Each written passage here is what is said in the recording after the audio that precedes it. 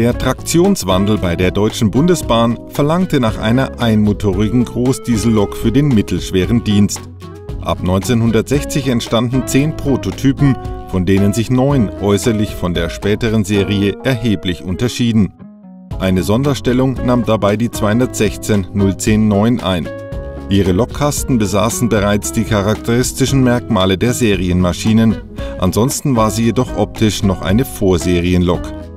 Ab 1964 begann unter Beteiligung der Hersteller Henschel, KHD, Kraus-Maffei, Krupp und MAK die Fertigung von 214 Serienlokomotiven. Mit ihrer Höchstgeschwindigkeit von 120 Stundenkilometern waren die Loks ideal vor Eil- und Personenzügen einzusetzen. Dank eines langsamen Gangs und der dadurch höheren Anfahrtzugkraft konnten auch Güterzüge gefahren werden. Da die 216 nur über eine Dampfheizung verfügten, wurden sie in den 1990er Jahren von der Baureihe 218 aus den Eilzugleistungen verdrängt. Zudem standen günstiger zu betreibende Triebwagen zur Verfügung. Die letzten Maschinen schieden 2004 aus dem Bestand der DB aus.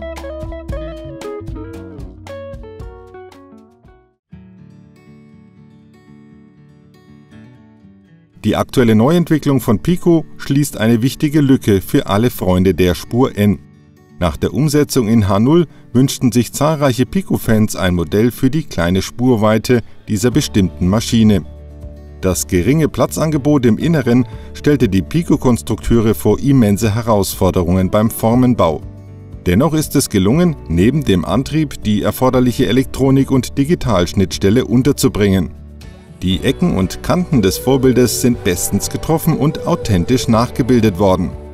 Der Detaillierungsgrad des Modells bewegt sich auf gewohnt hohem Pico-Niveau. Hierzu gehört ein vorbildgetreu nachgebildetes Dach inklusive Fenster. Feinste Gravuren geben die Drehgestelle und Handstangen exakt wieder.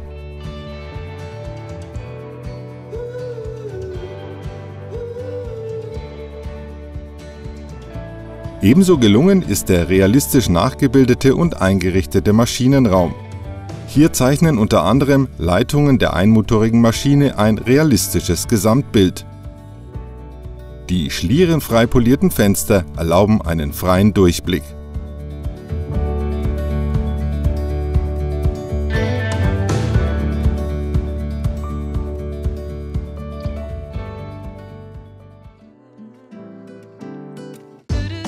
Trotz geringem Platzangebot ist im Inneren der Baureihe 216 für Pico jede Menge Technik untergebracht. Ein starker Motor sorgt für ausreichend Antrieb. Zwei Haftreifen verschaffen zusätzliche Zugkraft.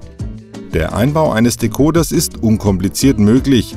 Zum Einsatz kommt eine zeitgemäße Next 18 Schnittstelle. Lichtstarke LEDs beleuchten den Maschinenraum und die Führerstände. Abhängig von der Fahrtrichtung wechselt das Licht der Lokomotive von einem weißen Dreilicht-Spitzensignal in zwei rote Schlussleuchten. Bei der zusätzlich erscheinenden Soundversion ist ein Pico Sound Decoder inklusive Lautsprecher bereits werkseitig installiert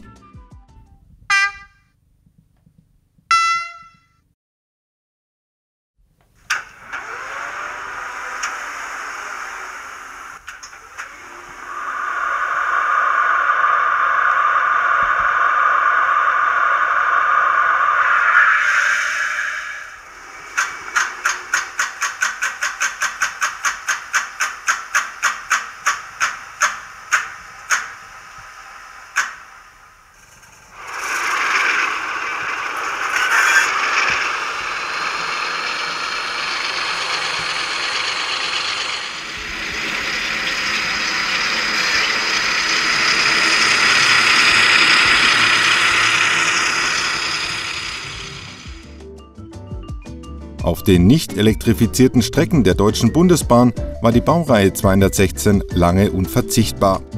Entsprechend vielfältig lässt sich das Modell einsetzen.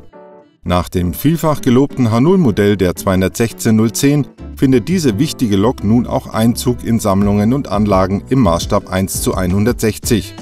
Im Eilzugdienst war die Baureihe 216 häufig in Kombination mit Silberlingen anzutreffen. Diese erscheinen noch im Verlauf des aktuellen Modellbahnjahres als Neuheit im Pico-Sortiment, und erlauben damit die Bildung realistischer Ganzzüge.